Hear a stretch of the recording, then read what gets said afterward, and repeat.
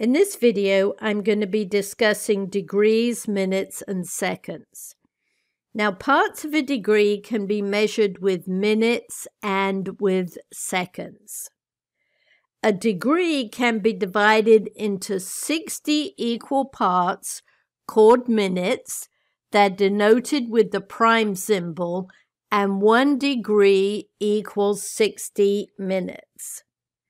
A minute can be divided into 60 equal parts called seconds, denoted by double prime, and one minute equals 60 seconds. And now I'm going to have to complete these two calculations involving degrees and minutes.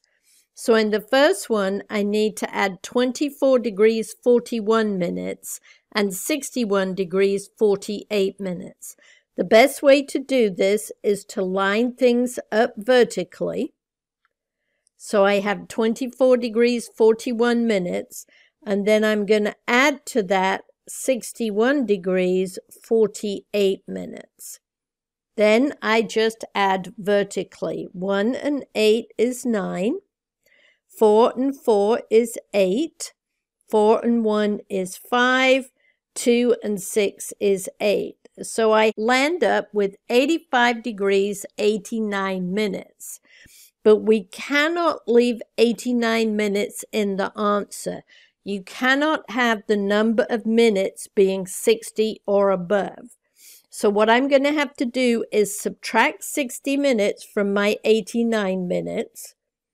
So I'm going to have 85 degrees plus 60 minutes and what's 89 minus 60? It's going to be 29 minutes. But remember, 60 minutes is one degree. So I have 85 degrees plus, instead of 60 minutes, I'm going to write one degree plus 29 minutes.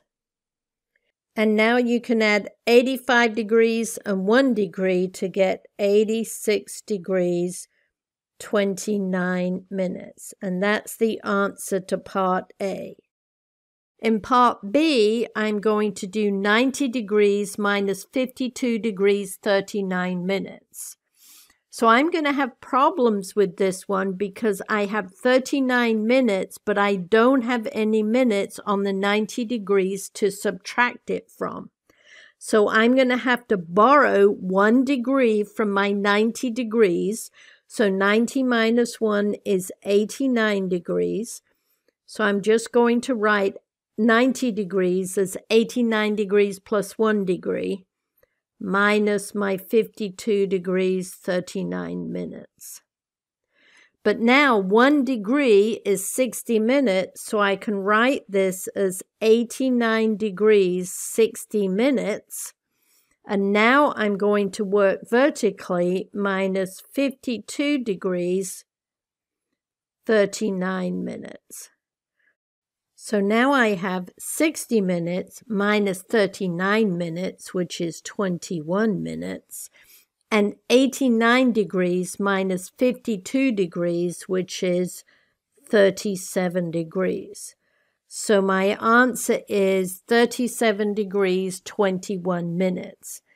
Now, in working out both of these problems, I wrote every single step to explain what I was doing, but you don't need to. You can often go directly from here to here and from here to here.